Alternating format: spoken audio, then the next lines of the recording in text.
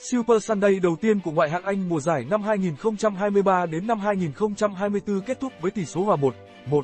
Chelsea và Liverpool đã mang đến một trận cầu sôi động đúng thương hiệu của giải đấu số 1 hành tinh nhưng chất lượng thì không quá cao. Điều đó chỉ ra cho cả hai câu lạc bộ thấy rằng mục tiêu hợp lý nhất trong mùa giải này là tập trung lấy vé giữ UEFA Champions League. Chelsea sau cuộc thay đổi chủ sở hữu, xáo trộn bằng ghế huấn luyện và đội hình nên không ai kỳ vọng gì ngay ở mùa này cũng không có gì lạ.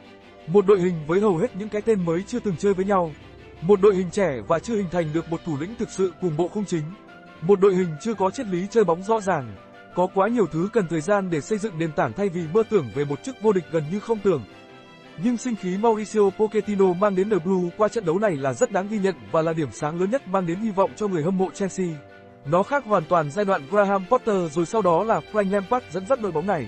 Khi họ để Diaz ghi bàn cho Liverpool từ phút 18 rồi ít phút sau đó Salah ghi bàn thứ hai, nhưng bị va từ chối, hẳn sẽ không ít khán giả đã nghĩ đến một mùa giải đáng buồn nữa của đại diện London.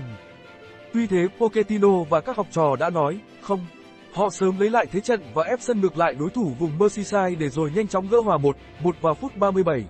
Và kể từ sau đó đến hết trận đấu, Enzo và các đồng đội là những người làm chủ hầu hết cuộc đối đầu. Đáng tiếc là họ vẫn còn thiếu những pha bóng sắc sảo, chính xác để cụ thể hóa ưu thế kiểm soát bóng của mình. Và đó chính là bài toán đi tìm một Drogba hay Costa mới mà Chelsea vẫn chưa giải được từ cuối triều đại Abramovich.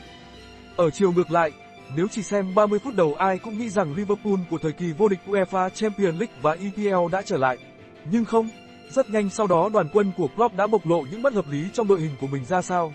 Vì họ cũng vừa trải qua một mùa hè với rất nhiều sự ra đi của những cái tên đã làm nên thành công cho lữ đoàn đỏ suốt gần một thập kỷ qua. Trong tất cả những thay đổi không thể cưỡng lại, vị trí tiền vệ mỏ neo mà Fabinho để lại là lỗ hổng mênh mông đáng kể nhất. Điểm yếu trí tử đó đã khiến một Mark rất xuất sắc mùa trước trong màu áo Brighton và Hope Albion trở nên thật bình thường và Soboslai cũng tương tự vì chưa thể làm các Liverpoolian quên được người đội trưởng đầy năng lượng Henderson.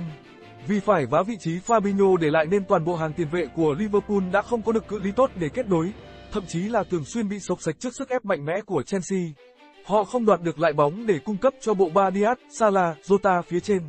Và đó là lý do bên hàng tiền đạo đói bóng trầm trọng hoặc chỉ có thể nhận bóng ở những tư thế rất bất lợi. Đến nỗi, trong một nỗ lực để tạo ra sức sống mới, Klopp đã thay hết cả dàn nhân sự tấn công gồm Beckham, Diaz, Jota và Salah. Hãy nhìn thái độ của Salah khi bị thay ra ở phút 77 để thấy các cầu thủ của thành phố Cảng đã phải trải qua một trận đấu khó khăn và bước bối ra sao. Những tưởng con tàu The Corp sẽ băng băng rẽ sóng ra khơi để mang về 3 điểm đầu tiên nhưng cuối cùng họ đã gặp một đại dương Stamford quyết đầy bão tố.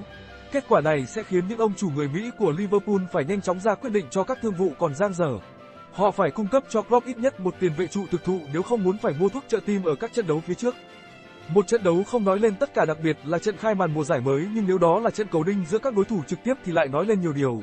Những hạn chế, yếu kém của cả Liverpool và Chelsea lúc này đã được phơi bày khá rõ ràng sau trận thư hùng bất phân thắng bại vào hôm qua.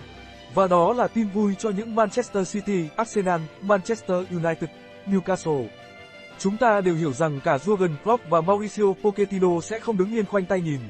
Họ là những huấn luyện viên có con mắt tinh tường và một tầm nhìn tham vọng nên chắc chắn sẽ tìm mọi cách để nhanh chóng vá lỗi và nâng cấp đội hình đến mức tối ưu. Nhưng nhiệm vụ đó sẽ không dễ để hoàn thành trong vài tháng, vì thế, mục tiêu thực tế nhất mùa này nên là kiến thiết nền bóng cho tương lai và cạnh tranh một vị trí trong top 4.